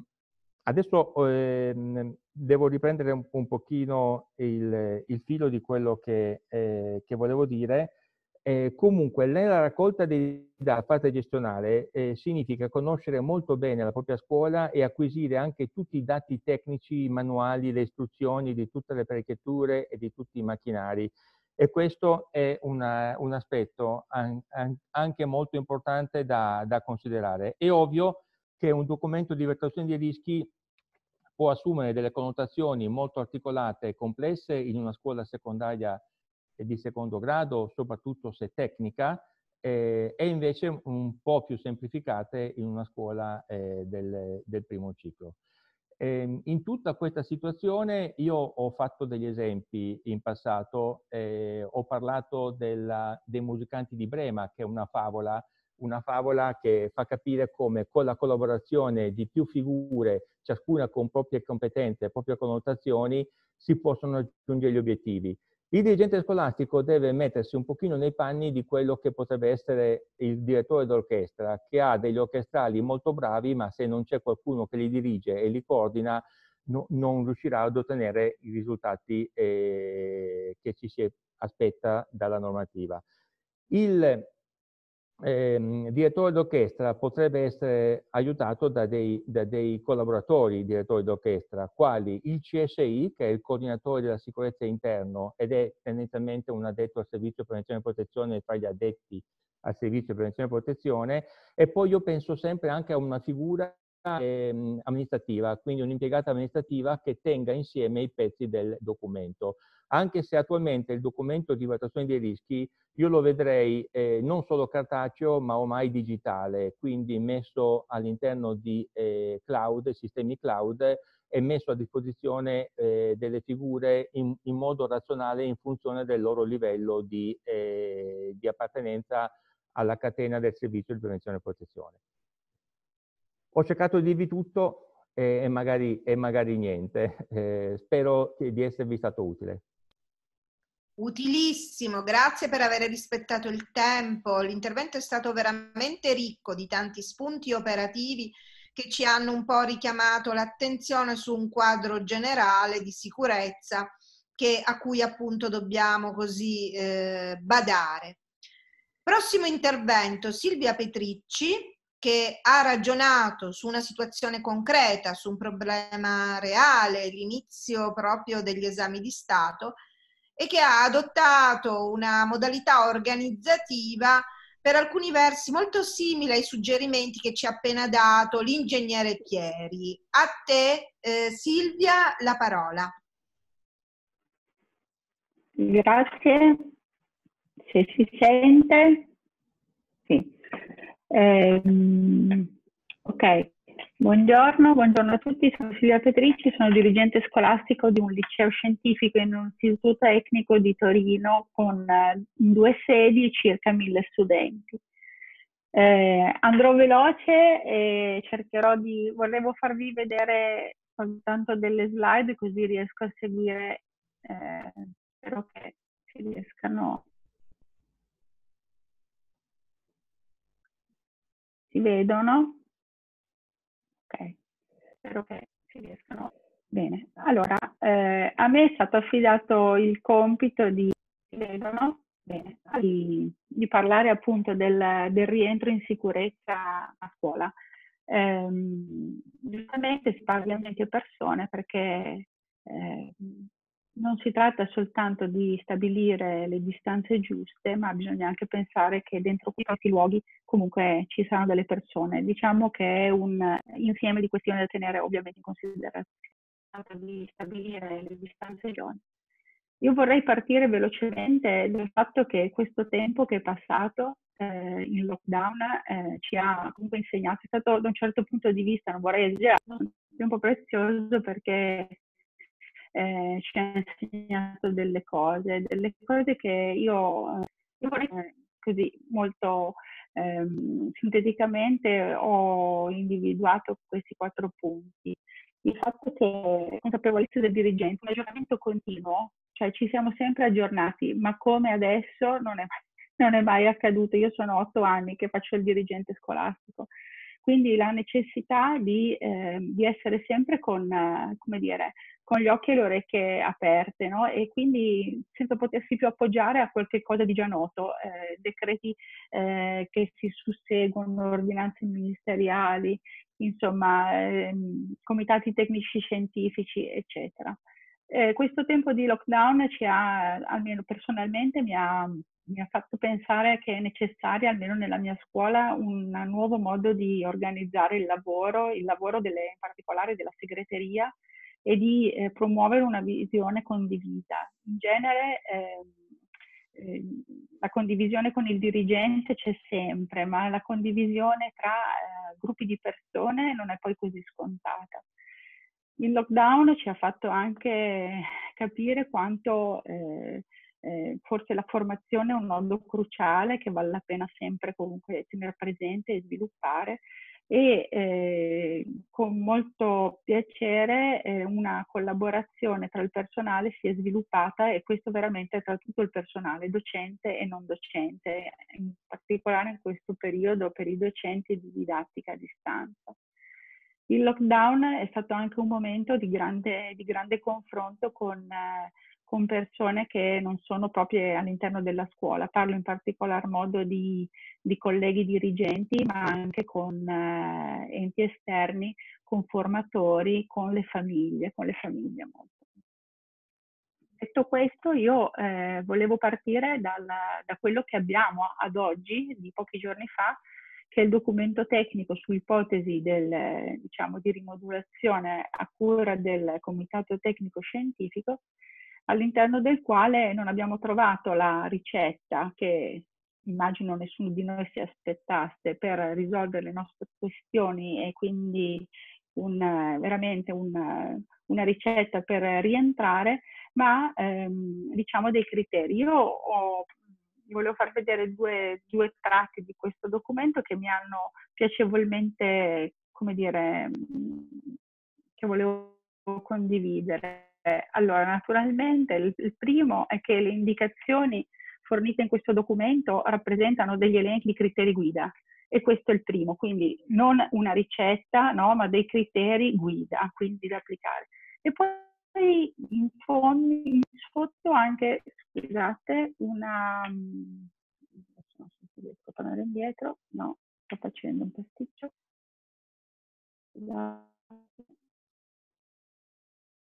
Ecco. E, mm, e la seconda parte del documento um, la seconda parte del documento mi sembra che, ehm,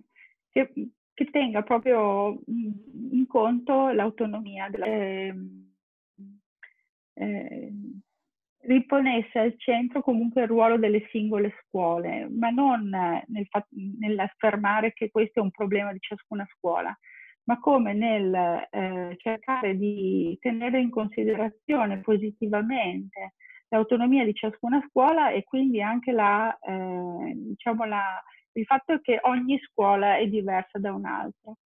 Mi piace l'apprezzamento che dice nella certezza che solo l'esperienza di chi vive e opera nella scuola quotidianamente con competenza e passione potrà portare alla definizione di soluzioni concrete e realizzabili. Bene, detto questo, io adesso mi, mi inoltro subito nella, in una situazione di rientro, che non è il rientro di settembre, perché il rientro di settembre è ancora diciamo, in,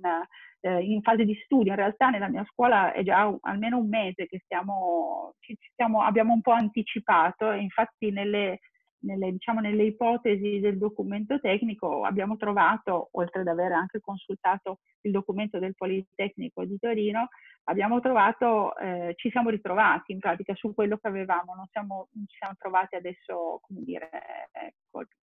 allora, io volevo parlare, soltanto, eh, volevo parlare di come sto affrontando il rientro a scuola per l'esame di Stato. Lo considero un banco di prova più semplice, un banco di prova più semplice rispetto al rientro a settembre perché? Perché comunque evidentemente ci sono meno persone che parteciperanno, ci sono le commissioni e ci sono gli studenti candidati che peraltro entreranno uno per volta con un unico accompagnatore, ci sono meno ambienti da, diciamo, da tenere sotto controllo perché ehm, si creeranno oltre gli spazi di, di transito, ci saranno eh, le aule adibite per le riunioni, per, per, gli esami, per gli uffici e al massimo per la riunione preliminare, ma soprattutto eh, è più semplice a mio, a, mio, a mio, giudizio perché non ci sono, non c'è tutto l'aspetto cuore della scuola che sono le attività didattiche. Noi nel pensare, nella mia scuola, nel pensare insieme a, a, al gruppo di lavoro pensare il rientro a settembre, la parte diciamo principale è proprio co- di come fare scuola e quindi l'esame di Stato in certo senso mh, è più semplice per questo e quindi anche senza immaginare un orario di, all'interno della scuola. Eh, io pensa- eh, lavorando in questi giorni per il rientro a scuola mi sono accorta che ci sono queste parole, queste, queste parole che, che, sono un po' il cuore. Vorrei una per una andare a vedere eh, come, come, come, sto affrontando eh, la questione. Allora, le parole sono la condivisione, l'informazione, la comunicazione, la corresponsabilità. Allora, la condivisione, eh, naturalmente c'è una condivisione eh, molto larga con un tavolo di lavoro che tiene conto di eh, letture, ciascuno con le proprie competenze. Già per il rientro a scuola di settembre questo tavolo è stato convocato dove, eh, al quale è stato come dire, prospettato il lavoro o comunque le ipotesi fatte fino, fino a questo momento. Ehm, naturalmente questo è un comitato diciamo, che eh, non può andare poi proprio a mettere le mani nella, nel, nella insomma, nel, porcarsi le mani con le cose da fare nella scuola, ma diciamo per esempio nei confronti dell'RSPP noi adesso stiamo predisponendo dire, un protocollo per eh, lo svolgimento degli esami secondo il documento tecnico allegato all'ordinanza ministeriale 10 e il nostro RSPP e medico competente sono ovviamente coinvolti in, eh, in termini di controllo, comunque di, di, dire, di, validazione di quanto noi stiamo mettendo in atto e anche ovviamente di consigli tutte le volte che, che, che chiediamo. Insomma, l'autonomia della scuola, eh, cioè ogni scuola deve, deve pensare. Allora, la condivisione interna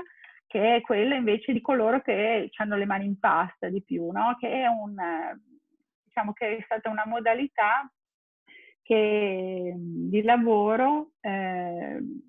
nato eh, un po' anche dall'aver seguito un webinar sullo smart working organizzato da Diesel, che abbiamo tratto, ho tratto spunto da questo. Allora, Innanzitutto come ci stiamo muovendo? Allora c'è un gruppo di lavoro con persone interessate. Io ho veramente preso il documento tecnico e l'ho smontato, l'ho smontato pezzo per pezzo, cioè ho, ho scomposto la questione organizzazione dell'esame di Stato in sicurezza in piccole, in piccole parti, l'ho proprio tutto smontato. Poi per ogni parte eh, abbiamo individuato un referente, abbiamo individuato per ogni entro cui svolgere queste, questi vari aspetti e, e in, abbiamo anche individuato riguardo un certo, un, lo svolgimento di una certa attività anche eventuali step successivi, giusto per poter tenere traccia di una specie di stato di avanzamento lavori. Eh, io adesso spero che funzioni, volevo farvi vedere questo, questo documento, non è che spero si veda, se Maria Paola mi dice se si vede che è abbastanza. Non so, si vede? Si vede. Si vede. Allora, io adesso, eh, eh, ovviamente, allora innanzitutto questo qui è un documento che sfrutta la piattaforma G Suite che noi abbiamo a scuola e che è condiviso con tutte le persone che sono referenti. La condivisione significa che ciascuno può aggiungere il suo pezzo, la sua parte, andare avanti, ma tutti possono sapere che cosa sta succedendo e soprattutto io che dovrei fare il direttore d'orchestra, per dirla come ha detto l'ingegner Pieri, ho la possibilità di, eh, di, tenere in qualche modo sotto controllo eh, i, vari, i vari aspetti. Nelle attività erano quello che vi avevo detto, praticamente lo sviluppo del documento su tutto ciò che era richiesto. Quindi, eh, eh adesso non lo so, eh, possiamo leggere alcuni, tempi, eh, la pulizia, quindi i tempi, i locali destinati alla preliminare dove ovviamente sono, con, sono riunite le, le, due commissioni, quindi dovrà essere più grande del luogo dove si fa l'orale non lo so, potremmo dire locali destinati dove si fa l'ufficio e dove si fa il colloquio, eh, l'ubicazione dei banchi, la fornitura, se, se eh, prendete il documento vedete che anche con lo stesso ordine, perché mentre lo leggevo scrivevo, quindi il mio compito all'inizio è stato quello di scrivere uno sotto l'altro le attività sminuzzate, diciamo, del documento tecnico, per arrivare alla fine, spero, ed è la riga in cima, alla eh, definizione di un protocollo che tenga conto di tutti gli aspetti che abbiamo eh, affrontato volta per volta.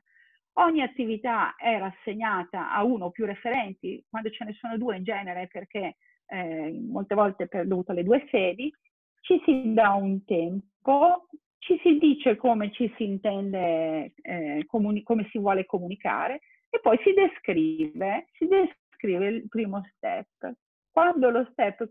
è concluso si mette terminato, viceversa c'è o in esecuzione o terminato o necessita intervento e così via.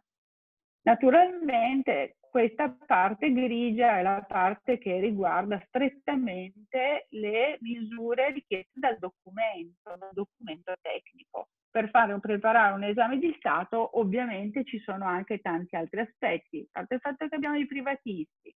ma poi bisognerà anche pensare a cosa mettere in cancelleria, eccetera, eccetera. Diciamo che questo strumento è partito all'inizio come uno strumento da utilizzare soltanto per le misure di sicurezza e quindi quanto previsto dal documento, ma ci abbiamo preso gusto e abbiamo messo anche tutto il resto. L'importante per utilizzare questo strumento è che il processo che si vuole, come dire, sminuzzare, affrontare dando tempi, referenti, e step successivi debba essere un processo che si eh, conclude, diciamo, eh, definito, non ampio. E quindi noi abbiamo fatto questa, stiamo usando questo, questo strumento. Eh, passo velocemente all'altra parola, la prima era condivisione, la seconda parola erano informazione e comunicazione. In questo tempo di lockdown mi sono reso conto che l'informazione e la comunicazione hanno anche delle caratteristiche ben precise che per me si possono riassumere in questo momento, ce ne saranno anche delle altre, ma così. La comunicazione, l'informazione deve essere aggiornata, cioè in questo tempo in cui tutto cambiava in continuazione, c'erano delle delle nuove, delle nuove normative, delle nuove indicazioni, io mi sono resa conto che tenere aggiornata l'informazione era una cosa importante. Doveva essere tempestiva, perché eh, l'aggiornamento d'accordo, ma doveva essere un aggiornamento tempestivo.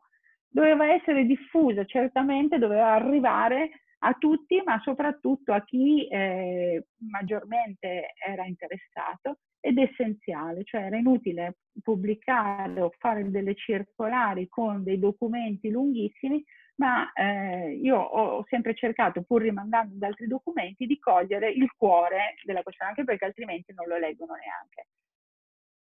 Eh, canali utilizzati per l'informazione, questo è quello che noi stiamo facendo, diciamo dal grande al piccolo, cioè a seconda di chi deve essere eh, raggiunto. Allora, innanzitutto abbiamo messo una sezione dedicata sulla home page del sito che si chiama sicurezza Covid-19 e quindi è una sezione eh, facilmente raggiungibile che diciamo dà l'informazione a 360 gradi per tutti. Webinar e videoconferenze, in particolare videoconferenze, per esempio, l'altro giorno ho fatto una videoconferenza con gli studenti delle quinte e i membri delle commissioni, docenti, e eh, attraverso questo strumento io ovviamente eh, abbiamo riguardato insieme questo nuovo esame di Stato, ma abbiamo anche dato lo spazio per parlare del documento tecnico e quindi delle misure di eh, prevenzione che, e di, di contenimento che noi intenderemo eh, attivare e come. Poi via via ancora più, eh, più nel particolare utilizziamo la bacheca eh, del software Argo che noi utilizziamo come registro elettronico che può essere per gli studenti, per i docenti, per le famiglie, per il personale ATA, quindi anche eh, possibile selezionare anche solo uno dei destinatari e qualora l'informazione o comunque la comunicazione debba raggiungere le persone, diciamo comunque gruppi di persone più stabiliti, usiamo la mail istituzionale di istituto. Vado a concludere con l'ultima parola che è la corresponsabilità e prendo eh, a prestito proprio questo, questo aspetto che è tenuto in conto nel documento tecnico eh, del Comitato Tecnico Scientifico, dove ovviamente eh, dice che è, è, indispensabile ricordare che oltre alle misure di prevenzione collettiva individuali di seguito riportate da mettere in atto nel contesto scolastico, c'è bisogno di una collaborazione attiva di studenti e famiglie che dovranno continuare a mettere in pratica i comportamenti generali previsti per il contrasto, eccetera, eccetera. L'esigenza sociale di riapertura delle scuole e costituzionali di diritto alla scuola chiamano pertanto ad una corresponsabilità di fronte a un rischio accettabile ma non completamente azzerato. Poiché il rischio zero non esiste, è chiaro che noi metteremo in campo tutte le azioni, ma è necessaria una, un'azione di sviluppo di questa corresponsabilità dei nostri studenti, perché anche se io metto i banchi a un metro di distanza, è evidente che non posso pensare né di imbullonare gli studenti alle sedie, questo eh, molto delicato che eh, intendo sviluppare con eh, una, degli incontri di formazione per eh, cogliere anche questa come occasione per fare un passo di cittadinanza con gli studenti della mia scuola che possano capire di essere anche loro partecipi al bene comune. Finisco con una frase che uso sempre quando qualcuno pensa che con il protocollo perfetto ci siamo risolti la questione ed è una frase di, di Eliot che dice che noi sogniamo sistemi talmente perfetti nessuno, dove nessuno avrebbe più bisogno di essere buono. Ecco, io penso che noi possiamo fare tutto quanto, ma dobbiamo lavorare molto su questa corresponsabilità, perché questa è necessaria. Vi ringrazio.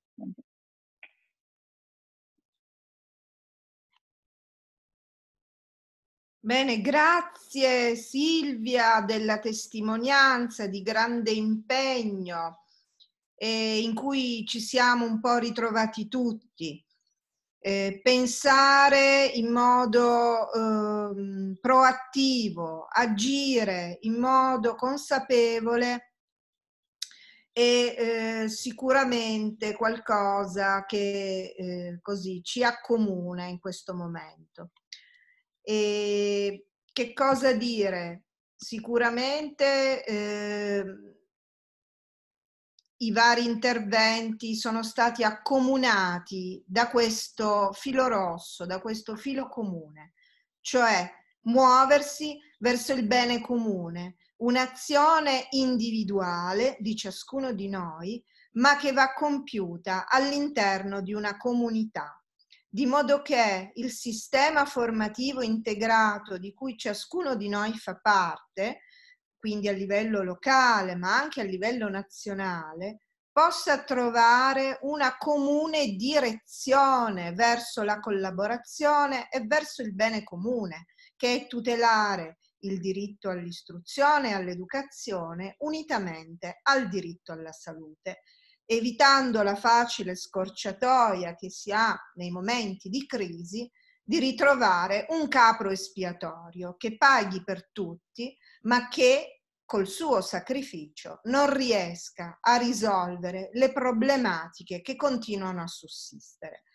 Grazie quindi per questo intervento. Eh, ho visto che avete fatto delle domande in chat, ad alcune già è stata data risposta da parte dei nostri esperti. Eh, se non ci sono altre domande, eh, vorrei lasciare al nostro presidente Ezio Delfino la conclusione di questo interessante seminario e ringrazio veramente di cuore i nostri esperti che con tanto sacrificio, rubando il tempo eh, al proprio lavoro, ai propri interessi, alle proprie passioni, hanno voluto con noi condividere questo momento di grande impegno e di grande responsabilità. A te la parola Ezio. Sì, condivido la gratitudine di, di Maria Paola Iaquinta. Eh, direi queste poche cose.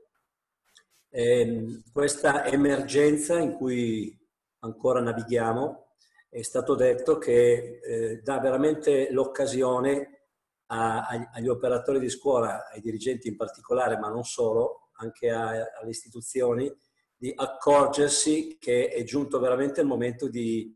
di mettere mano in tema di salute e sicurezza negli ambienti scolastici a, una, a un'opera di, eh, in parte di riscrittura, di ripensamento, di, di ridefinizione di, di, competenze e di profili. Eh, è un'altra delle scoperte che l'emergenza Covid ha generato stranamente, seppur in una situazione di, drammatica e certamente che nessuno avrebbe voluto affrontare. Tant'è, eh, potremmo dire, approfittiamo di questa emergenza nell'emergenza per eh, solidarizzare ed aiutarci in una prospettiva eh, positiva in tema di salute, di sicurezza, di tutele e di responsabilità. Eh, direi che gli sfondi che ho percepito in questo dialogo con voi sono di tre tipi. Eh, tipi. Sono innanzitutto uno sfondo di tipo culturale, eh, dove la parola culturale significa ehm, recuperare due atteggiamenti. Uno è l'intelligenza sulle cose, sulla realtà, sui fatti, eh, sia i fatti quelli più incresciosi, di cui anche due dei relatori sono, eh, sono in corsi, sia i fatti che ci insegna la realtà quotidiana, dal bidello che ci ricorda una certa cosa al genitore che ci scrive una letteraccia, eh, quindi i fatti, quelli che incontriamo. E l'altro aspetto di un profilo culturale è generato dal realismo, cioè dall'affrontare gradualmente eh, le emergenze, quello che le emergenze indicano e piano piano fare dei passi. Sono un, um, un piemontese, quindi come si dice i, i, i piccoli passi fanno parte della mia genetica, eh, ma percepisco che questo è un atteggiamento di realismo in qualche caso, no? non possiamo chiedere la luna subito, ma quindi l'intelligenza e il realismo sono due, le due dimensioni che attraverso il dialogo e la riflessione possono sviluppare atteggiamenti culturali sul tema sicurezza. Un secondo diciamo, modello è, la competenza tecnica. Io ringrazio Principe e Prieri se avranno appunto la, la disponibilità di rendere pubblico questo loro lavoro di approfondimento che oggi hanno appena accennato per brevità di tempo, sia attraverso il, il, il libro in uscita, sia attraverso altri momenti, perché il paragone con l'esperienza dell'estero, dei punti di vista su, sulle tecniche, su, su, sulle, sugli aspetti ingegneristici, sugli aspetti normativi, sugli aspetti burocratici, eh, sugli aspetti delle responsabilità è veramente decisivo. Quindi la seconda dimensione è la dimensione tecnica, perché non possiamo ottenere dei risultati senza consapevolezze anche tecniche. E l'ultima dimensione che credo oramai decisiva è, è quella della, mi permetto di usare questa parola talvolta non, più tanto usata, comunque la, parola, la dimensione eh, della solidarietà tra soggetti. No? Eh, credo che eh, attraverso ehm, articoli, interviste, documenti, materiali, qualche protesta, ehm, manifestare proprio eh, questa solidarietà tra, tra, soggetti, cioè non solo tra dirigenti scolastici, ma dico proprio tra soggetti, dalle famiglie ai, ai, agli studenti, agli operatori, fino ai presidi ovviamente, una solidarietà che faccia emergere che quello che ci sta veramente a cuore è che il singolo studente possa eh, svolgere il proprio diritto all'istruzione, alla formazione in ambienti assolutamente positivi. I docenti possono agire una didattica autentica, che sia a distanza o in presenza, e che chi amministra una scuola lo possa fare secondo quel principio che lo ha mosso di, di, di servizio al bene comune, di entusiasmo, di, di bene appunto eh, per cui si è messo a fare il preside, il docente. Allora, queste tre dimensioni, culturale, tecnica e eh, di solidarietà, cioè di compagnia nel lavoro, credo che se ehm, agite in maniera intelligente e anche con qualche evidente strategia, potrebbero portare, spero, in un medio periodo, se non breve, a qualche cambiamento. Ovviamente dovremo trovare alleanze, e questa è la parola mi pare giusta,